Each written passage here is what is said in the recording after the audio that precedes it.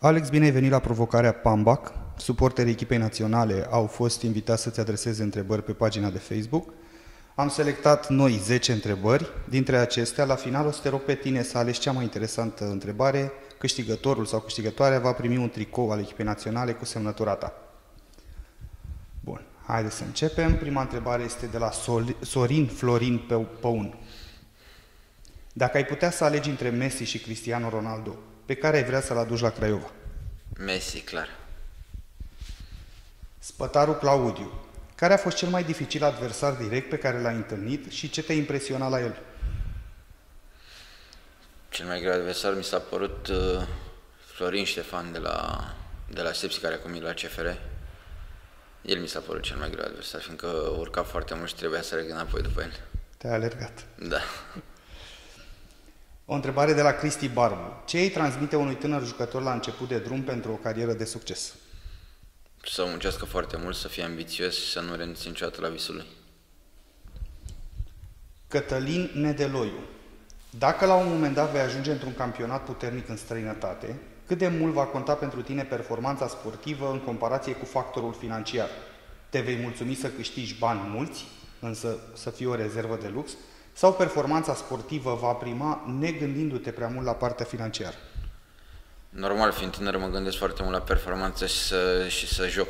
Nu mă gândesc neapărat la bani, dar bineînțeles că și factorul financiar este un lucru destul de important uh, mai târziu, când înainte din vârstă, dar deocamdată mă gândesc să joc oriunde m-aș duce. O întrebare de la Andrei Baroana. Care este cel mai mare sacrificiu pe care l-ai făcut pentru fotbal? Cel mai mare sacrificiu pe care l-am făcut pentru fotbal a fost că am plecat de mic de lângă, de lângă familie, de la vârsta de șapte ani și că am stat mereu departe de familie. Mi-au văzut părinții numai de două ori pe lună, o dată la an, o dată la doi ani.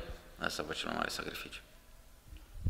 Care e cel mai tare tatuaj pe care îl ai? Te întreabă Ionuț Călin.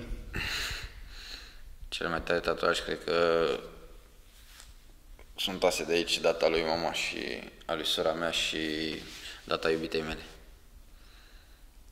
O întrebare de la Simianovici Ion Eugen. Spune trei fotbaliști cu care ai vrea să faci schimb de tricouri. Care vreau în primul rând cu Messi, cu Ben Arfa și cu Neymar. Marius Vasile Rozniai. Ce îți trece prin minte sau ce sentimente ai în momentul când intri în vestiar și ești față în față cu tricoul naționalei cu numele tău scris pe el? Normal, este un sentiment, un sentiment aparte, un sentiment de, de nedescris și mă bucur ori de câte ori intru în vestiar și îmi văd uh, tricoul cu numele meu. Florin Ilie, cu ce echipă din România ai ținut de mic copil și care este idolul tău la care te inspiri? De mic copil am ținut cu Steaua, dar uh, vă dați seama că am schimbat uh, aproape an de an echipele și acum nu mai am o echipă favorită, țin cu echipa mea Craiova. Și ce jucător este idolul meu, nu? Da. Ben Arfa. Și ultima întrebare de la Ștefăniță Sandu.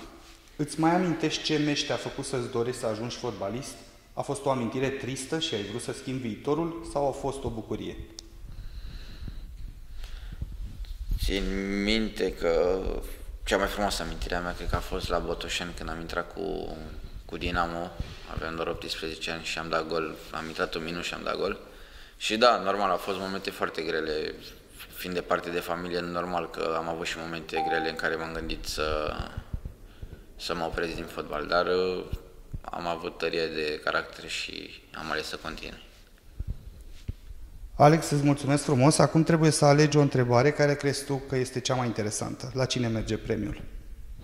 Mm, premiul merge la întrebarea cu despre sacrificiu, care a fost cel mai mare sacrificiu pe care l-am făcut față de fotbal, nu? Da. Andrei Baroana, el a adresat această întrebare.